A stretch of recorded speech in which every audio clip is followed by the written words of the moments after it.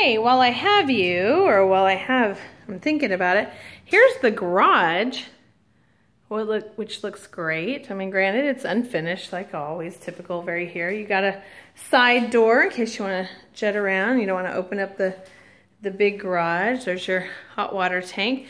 There is a built-in sink right here with a countertop. They got a little fridge there. Then they've got a bit of a workbench around on this side. And then he's got some storage and stuff. So I imagine all of the workbench stuff will come out.